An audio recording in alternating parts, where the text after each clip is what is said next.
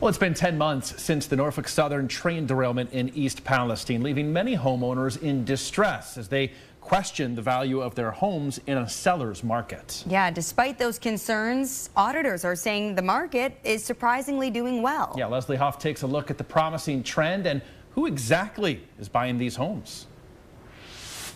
After the February 3rd Norfolk Southern train derailment, many homeowners in East Palestine feared their property would be considered worthless if they ever decided to sell it. But perhaps surprisingly, the real estate market has actually greatly exceeded expectations. It's certainly not what we expected um, as far as what how they're selling after that derailment. Columbiana County Auditor Nancy Milliken and real estate manager Jamie Popelreiter say there was a total of 72 residential sales since February 3rd, and almost all of those are selling well above market value.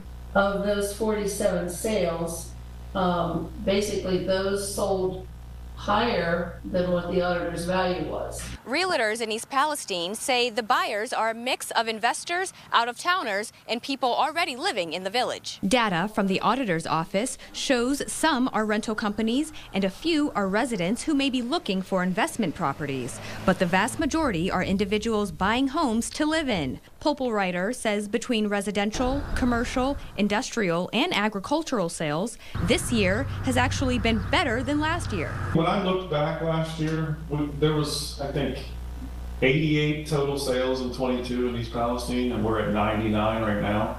With more local news, I'm Leslie Huff.